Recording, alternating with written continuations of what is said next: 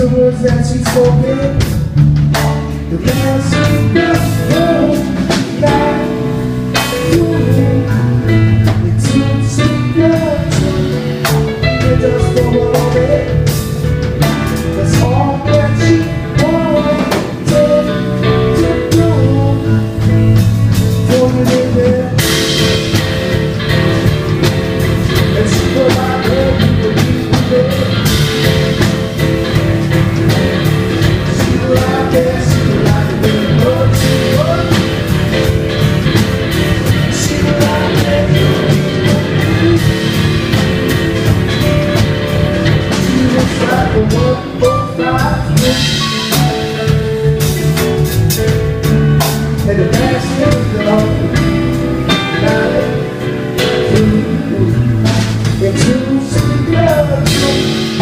even just for a moment.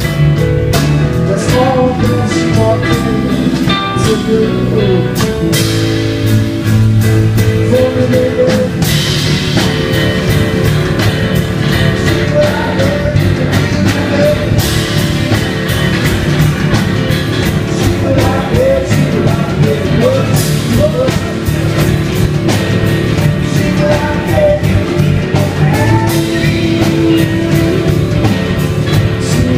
Cristo